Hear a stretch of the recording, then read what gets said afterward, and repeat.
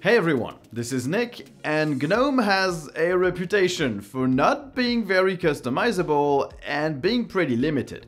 And while that is true on the surface, GNOME still has a ton of hidden options and features that you can enable. Whether these options and settings should be part of the default GNOME experience and should be user accessible immediately, that's a debate I will not enter because that would take its very own dedicated video on the merits of UX simplicity versus complexity, but I'm still going to tell you about a ton of these tweaks, options, settings, keyboard shortcuts that will make your GNOME experience way more powerful and way more productive. And of course, if your favorite tweak, setting, option, shortcut is not in this video, don't hesitate to let other viewers know in the comments, cause, well, it's always nice to share information. Just like it's always nice to share this segue to today's sponsor, who's gonna let you monitor and secure your internet connection.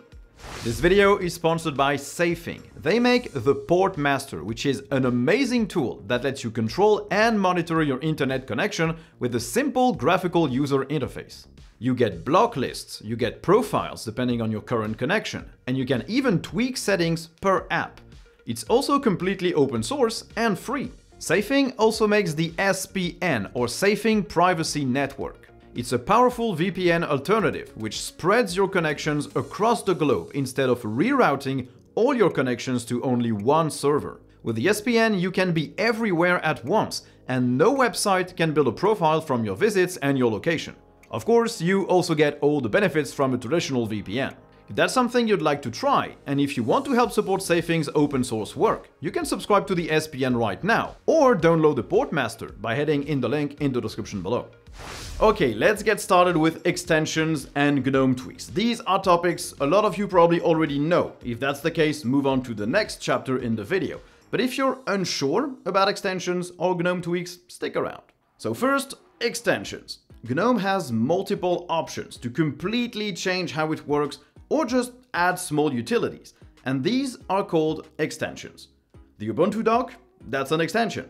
The Zorin OS bottom panel, that's an extension. The Manjaro dock, extension again. There are tons of these, and you can get to them super easily thanks to a little program called Extension Manager. Not only does it let you handle all the extensions you have installed and their own settings, but you can also find the ones you want, thanks to a handy search engine. Among those that I use or have used, there's Dash to Dock or Dash to Panel to add a dock or a permanent panel to your GNOME interface. There's App Indicator support to add a system tray, GS Connect to add KDE Connect support to GNOME, Night Theme Switcher to allow you to switch from dark to light mode automatically, or CoverFlow Alt Tab, which makes alt tabbing look a lot better. Whatever the extension you want, you can find it in Extension Manager. Each extension has screenshots, description, and a support status that will tell you if it works on your GNOME version or not. I already have a full video on GNOME extensions, it's in the card up top, check it out if you want to know more. Second is GNOME Tweaks. It's a handy little utility that exposes some options graphically that are not by default in the GNOME settings. And to circle back to the question in the introduction of the video, yes, basically all the options in GNOME Tweaks should absolutely be part of the default GNOME experience. They're basic and they should be there. So, Tweaks has sound over amplification, it has theming choices, font customization, extended keyboard and mouse options, it handles startup applications, it lets you tweak the top bar, the window title bars, and the actions you can do on that, or even how you handle your windows, like how they're focused, if the modal dialogues are attached to the window or not, there's just a ton of things in GNOME Tweaks. So if that's something that might interest you, you can find it in your graphical app store. Whatever the distro, it's 99% chance it's in there. And interestingly, all these options that GNOME Tweaks provides, they're all handled through dconf, which is a sort of hidden thing that GNOME uses for options that are not exposed to the user, and that's the main thing we're gonna use in this video to basically tweak your GNOME. So let's start with some power options. GNOME now has the ability to switch power profiles, but it can go further. For this, you'll need to install dconf editor. It's very, very likely to be in your software store, so just look it up and install it. dconf editor is a small graphical utility that lets you access and interact with GNOME's options and tweaks hidden database. And if this database reminds you of something, for example, the Windows registry, then yes, you're right, it's exactly the same thing. Apart from the fact that GNOME's registry is actually super legible, super well thought out, easy to navigate, and easy to use. So basically nothing like the Windows registry. So let's go back to power settings. To access these, you'll need to navigate to org, then GNOME, then settings daemon, then plugins, and finally power. In here, you have a long list of stuff you can tweak. You can disable the ambient light sensor to always have brightness on your laptop set as you like it.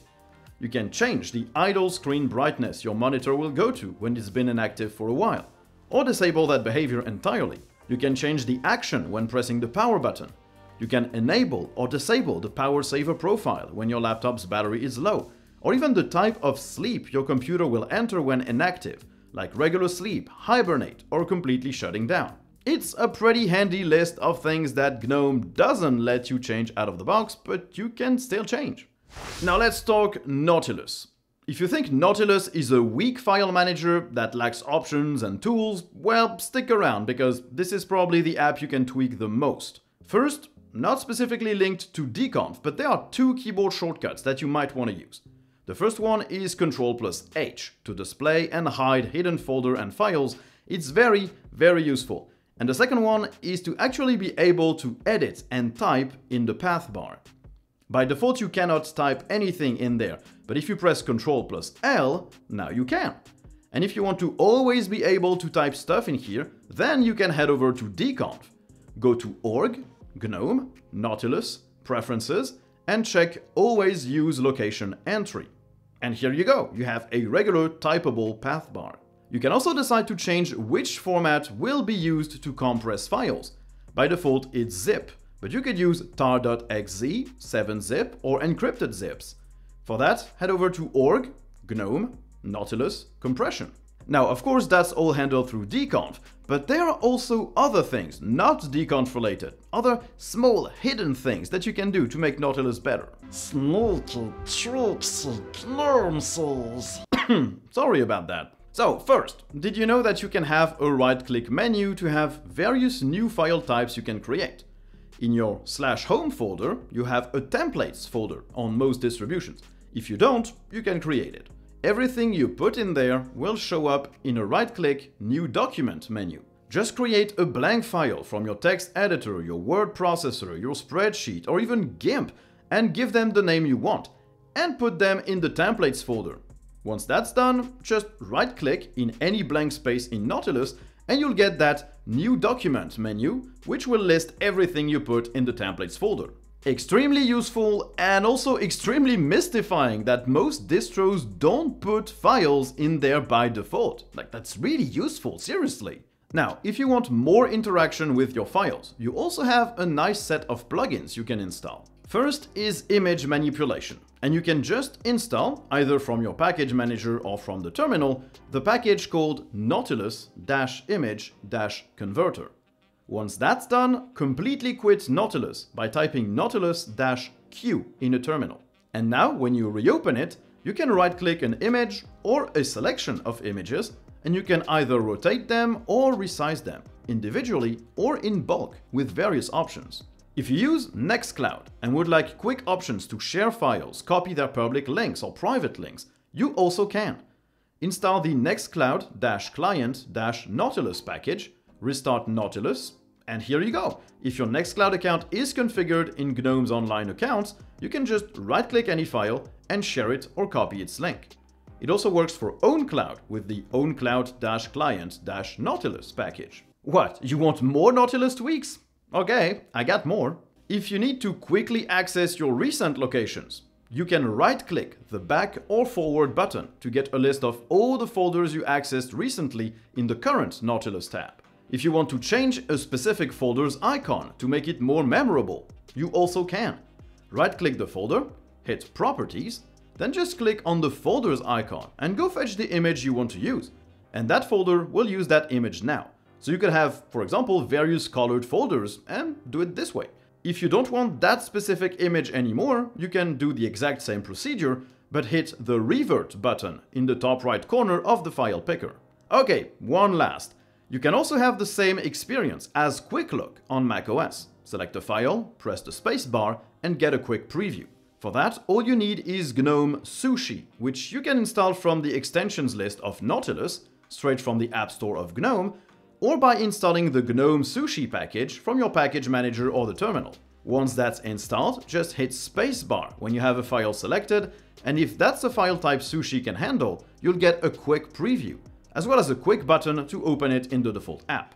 It works with images, videos, text files, open document formats, Microsoft Office files, and a lot more.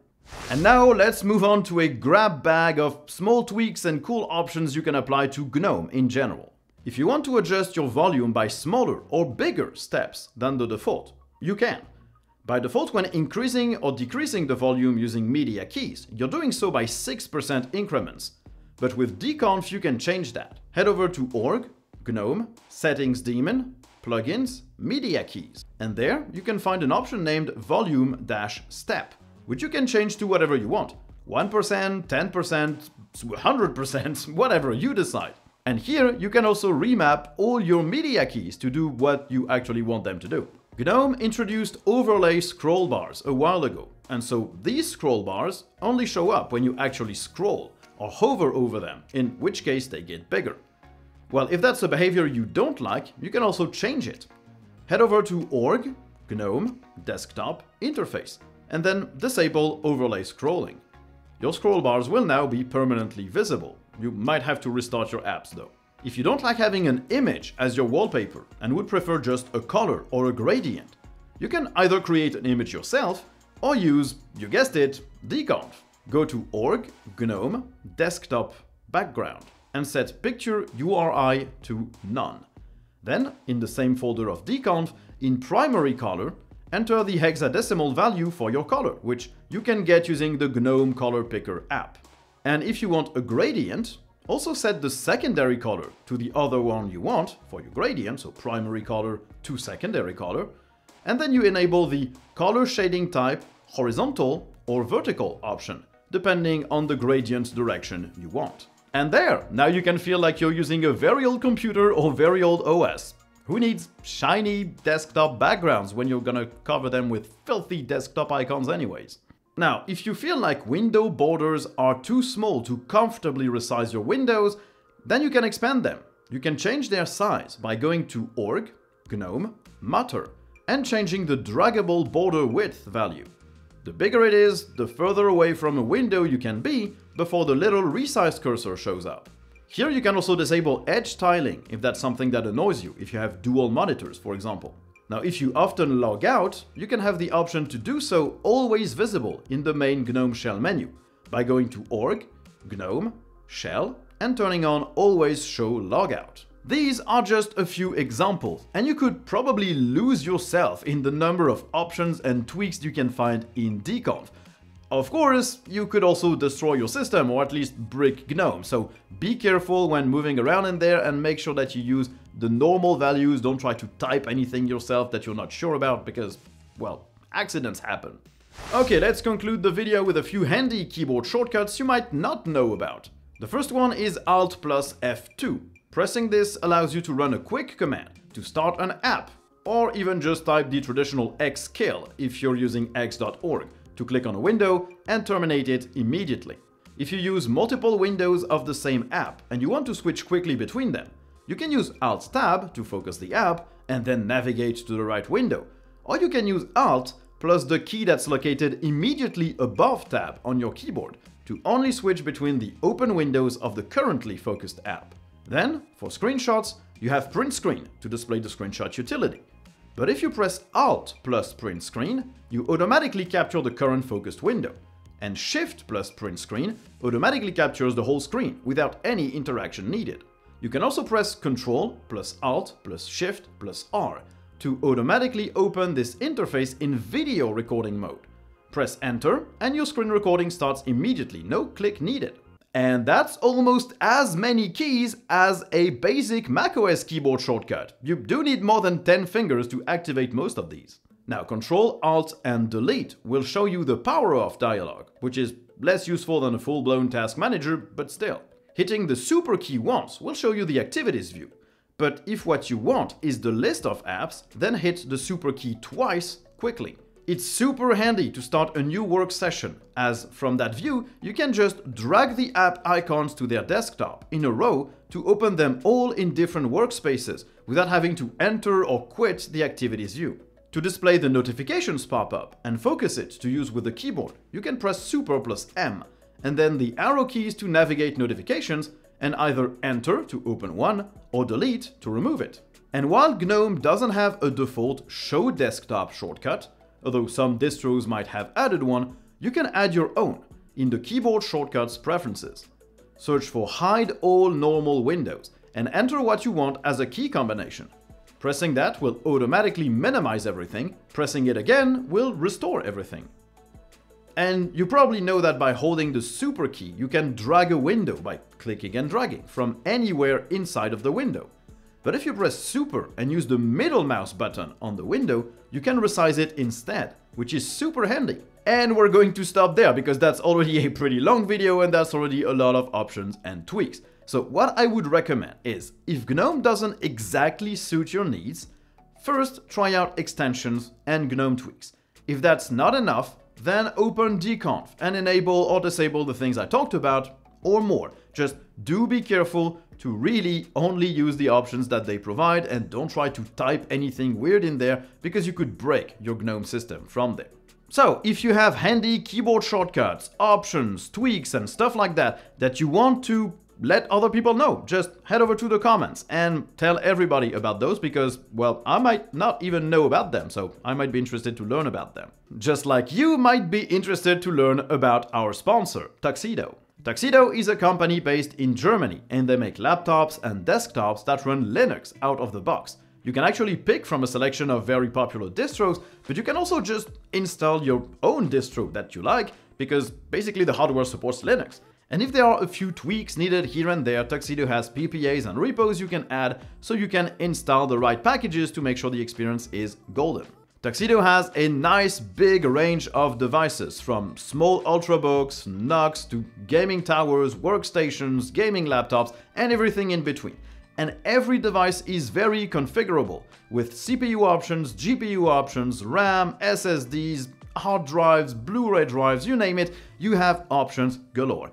And you can even have your own graphics design engraved, either on the case or on the lid of a laptop. And they have tons of various keyboard layouts that you might want to use. So if you need a new device and you want to make sure that it runs Linux perfectly, head over to the link in the description below and click it and grab yourself a laptop or desktop from Tuxedo. They are really, really nice. I use the Tuxedo Stellaris 15 as my own laptop, so that should be telling. So, thanks everyone for watching the video. I hope you enjoyed it. If you did, don't hesitate to like, to subscribe, to turn on notifications, to write a comment. And if you didn't like it, you can also dislike it and tell me why in the comments as well.